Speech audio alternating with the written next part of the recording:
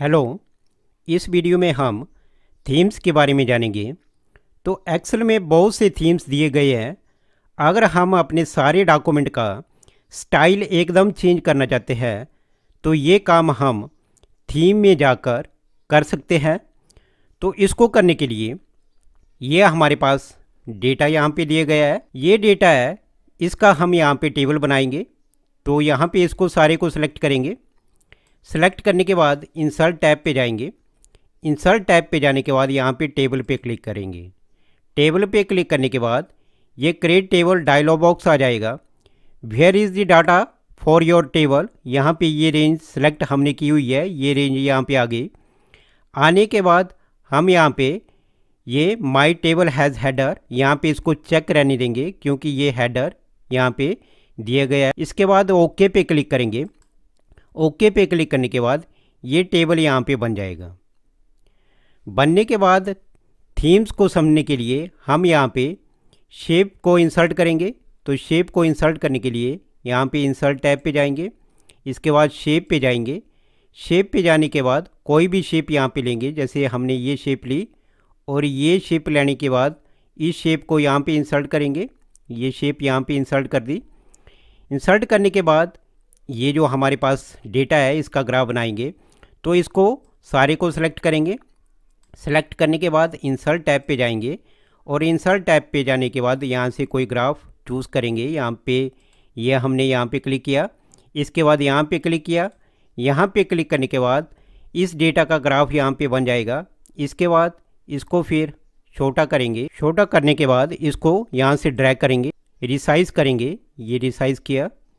Resize करने के बाद, अब यहाँ पे हम थीम्स को समझेंगे कि थीम्स को कैसे अप्लाई किया जाता है। तो इसको करने के लिए हम यहाँ पे पेज लेआउट टैब पे जाएँगे। पेज लेआउट टैब पे जाने के बाद यहाँ पे थीम पे जाएँगे। यहाँ पे थीम के मोर बटन पे क्लिक करेंगे और मोर बटन पे क्लिक करने के बाद यहाँ पे ये कस्टम थीम आ जाएँगे। ये देखो ये देखो, ये टेबल यहाँ पे चेंज हो गया।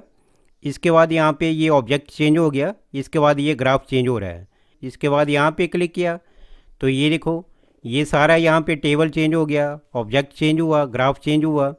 इसके बाद यहाँ पे क्लिक किया। ये देखो, ये चेंज हो रहा है पूरा थीम तो जिसके ऊपर हम क्लिक करेंगे, ये सारा डॉक्यूमेंट यहाँ पे चेंज हो जाएगा। ये देखो, इस थीम पे क्लिक किया। तो ये ये थीम यहाँ पे सारे डॉक्यूमेंट पे अप्लाई हो गया। ये देखो, जिसके ऊपर हम क्लिक कर रहे हैं, वही थीम सारे डॉक्यूमेंट में अप्लाई हो रहा है। तो इस तरह से हम कोई भी थीम यहाँ पे अप्लाई कर सकते हैं तो हमने इस थीम के ऊपर क्लिक किया। तो ये देखो, ये थीम जो है, सारे डॉक्यूमेंट में अप्लाई हो गया, इस डेटा में भी अप्लाई हो गया, इस ऑब्जेक्ट में अप्लाई हो गया और इस ग्राफ में अप्लाई हो गया। तो इस तरह से हम थीम को सारे डॉक्यूमेंट में अप्लाई कर सकते हैं। इसके बाद थीम्स ग्रुप में सेकंड फ़ंक्शन है कलर्स तो कलर्स जो है, इस कलर का यूज़ करके हम अपने सारे डॉक्यूमेंट का जल्दी से कलर चेंज कर सकते हैं। यहाँ पे कलर पे क्लिक करने के बाद, यहाँ पे बहुत से कलर आ गए। जिस कलर के ऊपर हम यहाँ पे क्लिक करेंगे, वही कलर यहाँ पे अप्लाई हो जाएगा। ये देखो कस्टम कलर में ये ये सबसे पहले है। कस्टम वन यहाँ पे क्लिक किया तो क्लिक करने के बाद ये कलर बना हुआ है कस्टम वन तो यहाँ पे क्लिक करेंगे, अगर इस बॉक्स पे क्लिक करेंगे तो वो कलर यहाँ पे अप्लाई नहीं होगा। लेकिन ये सारा जो कलर बना हुआ है, ये कस्टम वन कलर बना हुआ है ये। कहीं भी हम क्लिक करें तो ये कलर यही अप्लाई होगा।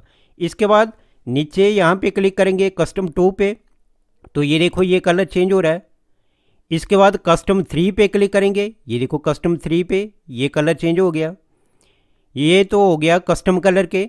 अगर हम ऑफ़िस कलर यहाँ पे क्लिक करेंगे तो ये देखो फ़र्स्ट ऑफ़िस यहाँ पे लिखा हुआ ऑफ़िस ये कलर चेंज हो गया। इसके बाद अगला कलर बना हुआ है ऑफ़िस सेवन टेन तो यहाँ पे क्लिक करेंगे तो ये कलर चेंज हो गया। इसके बाद अगले पे क्लिक करेंगे ग्रे स्केल कलर यहाँ पे बना हुआ है, यहाँ पे क्लिक किया ये देखो सारा हमारा डॉक्यूमेंट ग्रे स्केल कलर में चेंज हो गया। इसके बाद अगर यहाँ पे ये देखो ब्लू कलर यहाँ पे क्लिक करेंगे तो इसमें चेंज हो जाएगा। इसके बाद यहाँ पे ग्रीन चाहिए तो यहाँ पे ये देखो ये ग्रीन यहाँ पे दिया गया है, यहाँ पे ये चाहिए कलर तो ये सारे डॉक्यूमेंट में ये अप्लाई हो रहा है। इसी प्रकार आगे बहुत से कलर यहाँ पे दिए गए हैं, और भी नीचे यहाँ पे कलर दिए गए हैं। ये देखो, ये जैसे पेपर कलर यहाँ पे क्लिक किया तो ये कलर यहाँ पे आ जाएगा। तो कोई भी कलर यहाँ पे हम चूज़ कर सकते हैं। जैसे यहाँ पे येलो पे क्लिक किया तो ये येलो यहाँ पे अप्लाई हो रहा है।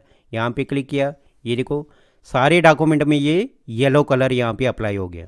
इसके बाद थीम्स ग्रुप में आ गया है फ़ोन्स तो फ़ॉन्ट्स में क्या होता है, अगर हम अपने डॉक्यूमेंट का टेक्स्ट जल्दी से चेंज करना चाहते हैं तो ये काम हम फ़ॉन्ट के द्वारा कर सकते हैं।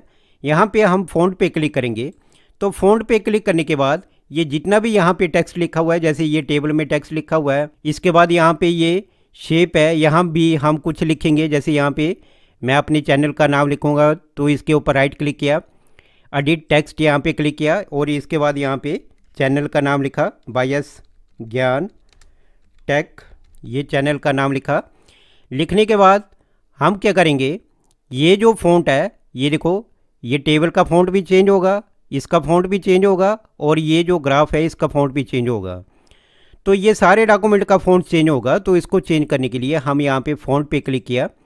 फ़ॉन्ट पे क्लिक करने के बाद ये देखो ऑफ़िस फ़ॉन्ट ये पहले पे क्लिक किया है, ये सारा यहाँ पे चेंज हो रहा है। इसके बाद आगे ऑफ़िस सेवन टेन फ़ॉन्ट यहाँ पे ये देखो सारे चेंज हो रहा है। इसके बाद आगे भी क्लिक किया तो ये अगला फ़ॉन्ट चेंज हो रहा है। इसके बाद आगे क्लिक किया फ़ॉन्ट चेंज हो रहा है। इसके बाद आगे क्लिक किया तो ये फ़ॉन्ट चेंज हो गया। इसके बाद आगे। तो इस तरह से हम किसी भी फ़ॉन्ट के ऊपर क्लिक करेंगे, वही फ़ॉन्ट यहाँ पे अप्लाई हो जाएगा। तो सपोज़ करो हमने ये फ़ॉन्ट चाहिए तो यहाँ पे हमने क्लिक किया तो ये फ़ॉन्ट यहाँ पे अप्लाई हो जाएगा। ये देखो, ये सारे डॉक्यूमेंट में ये फ़ॉन्ट अप्लाई हो गया। इसके बाद थीम्स ग्रुप में आ गया है इफ़ेक्ट्स इफ़ेक्ट्स में क्या होता है, अगर हम अपने डॉक्यूमेंट के ऑब्जेक्ट का लुक जल्दी से चेंज करना चाहते हैं तो हम ये इफ़ेक्ट्स फ़ंक्शन के द्वारा कर सकते हैं। तो जैसे ये हमारा ऑब्जेक्ट है, ये जितना भी यहाँ पे दिए गया है, ये ऑब्जेक्ट है। अगर इसको चेंज करना चाहते हैं तो हम इफ़ेक्ट्स के द्वारा इसको चेंज कर सकते हैं। इसको बड़ा कर लेते हैं यहाँ पे, इसको बड़ा किया। बड़ा करने के बाद फिर यहाँ पे इफ़ेक्ट्स पे जाएँगे। इफ़ेक्ट्स पे क्लिक करने के बाद यहाँ पे बहुत से इफ़ेक्ट्स हैं। जिसके ऊपर हम क्लिक करेंगे ये हमारा ऑब्जेक्ट यहाँ पे चेंज हो जाएगा ये देखो जैसे यहाँ पे क्लिक किया तो ये ऑब्जेक्ट चेंज हो रहा है अगले पे क्लिक किया ये देखो चेंज हो रहा है इसके बाद यहाँ पे क्लिक किया ये चेंज हो रहा है ये देखो यहाँ पे इफ़ेक्ट यहाँ पे अप्लाई हो रहा है ये देखो ये अप्लाई हो गया तो यहाँ पे बहुत से इफेक्ट्स हैं जिसके ऊपर क्लिक करेंगे वही यहाँ पे अप्लाई हो जाएगा ये देखो यहाँ पे ये अप्लाई हो गया यहाँ पे ये अप्लाई हो रहा है तो सपोज़ करो हमें ये चाहिए यहाँ पे क्लिक किया ये इफेक्ट्स यहाँ पे ऑब्जेक्ट पे अप्लाई हो गया।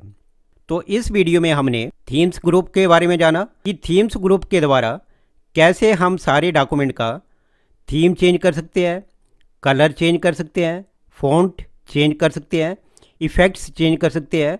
इसके बारे में सीखा। अगर आपको मेरी ये वीडियो अच्छी लगी तो प्लीज़ सब्सक्राइब माई चैनल धन्यवाद।